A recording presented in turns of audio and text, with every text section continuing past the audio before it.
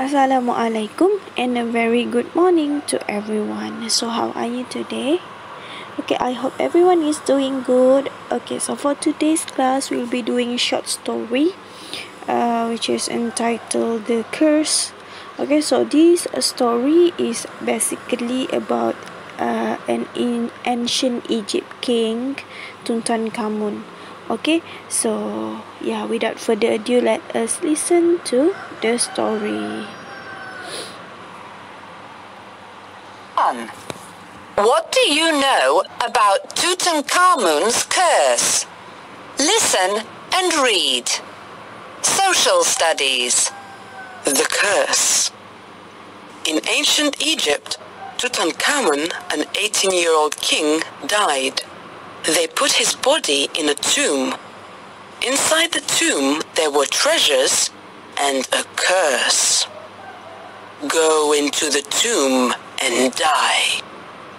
In 1922, two Englishmen, Howard Carter and Lord Carnarvon, went to the Valley of the Kings.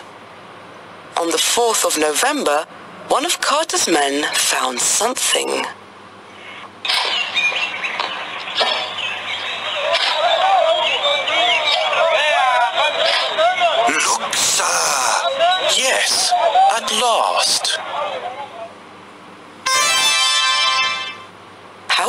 Carter and Lord Carnarvon opened the tomb.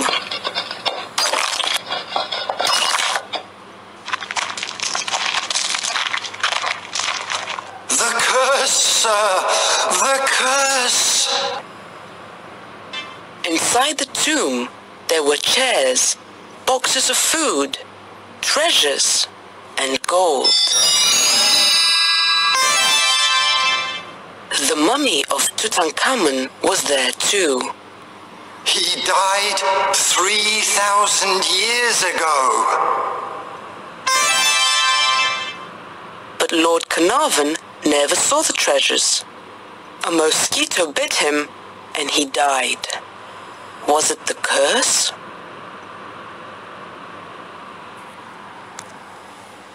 Okay, so basically that is the story of the curse.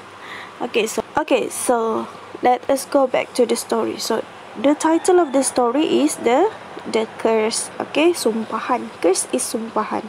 Okay, so in ancient Egypt, Tutankhamun, an 18 year, year old king, died. Okay, so Tutankhamun is the ancient Egypt king.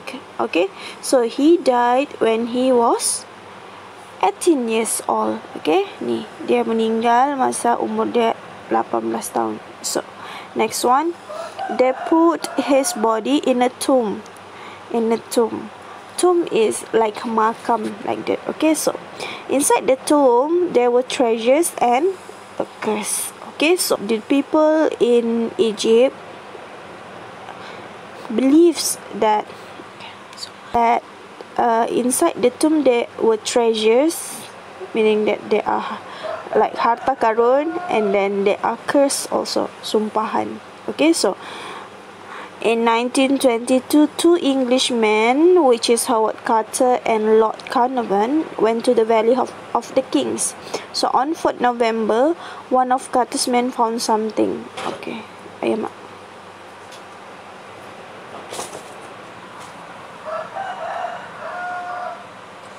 Okay, so let us see the first frame. Okay, so when they are digging the valley of the king, they actually found something. Okay, so this Englishman is very happy because at last they found something that they are looking for. Okay, and then we look at the second frame. This one. Okay, so Howard Carter and Lord Carnarvon open the tomb. Then this is the uh, people that lives in the Egypt. So he said the cursor, the curse when he saw this one. So he believes that the tomb has a curse. Okay, but look at their face. They don't trust it, right? Okay, so now let us go to the next uh, part. Okay. Eh, salah. Okay. Let us go to the next part. So inside the tomb there were chairs, boxes of food, treasures and gold. Okay, so look at this. There are treasures, there are chair, there are gold. Okay. And then the mummy of Tutankhamun was there too. So they also found the mummy of Tutankhamun. Uh, he died 3000 years ago. So it has been a long time, right? Lamanya sudah 3000 tahun. So and then next one, but Lord Carnarvon never saw the treasures. A mosquito bit him and he died. So was it the curse? Okay, so basically that's the story about two Englishmen looking for treasures and gold, and they found it inside the tomb. But at, at last, Lord Carnarvon actually died because he was bit by mosquito.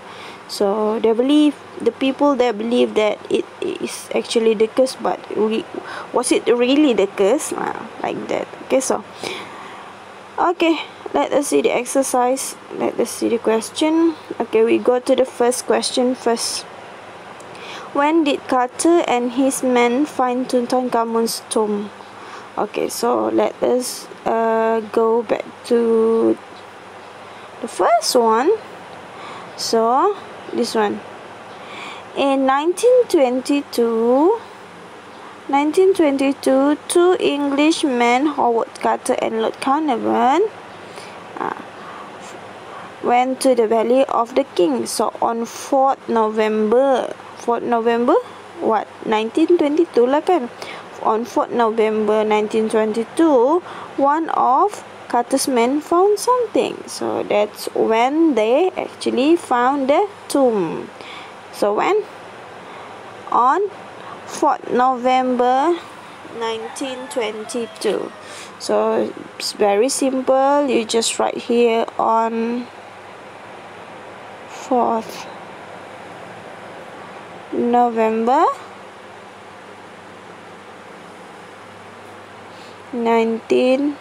1922 okay? So yeah. Basically that's the answer. And then number two.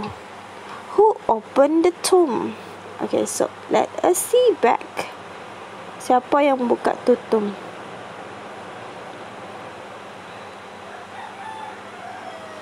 okay now let us see the second frame. Howard Carter and Lord Carnarvon opened the tomb okay so who opened the tomb?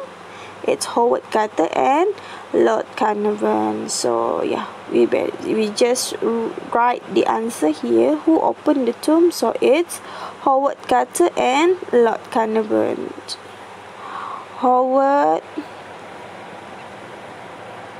Carter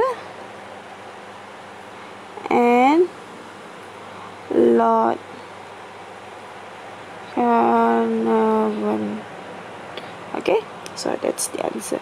So yeah, so for the next next question, I think you can do it by yourself. Okay, so don't forget to send your task to me. So that's all for today. See you next time. Bye bye.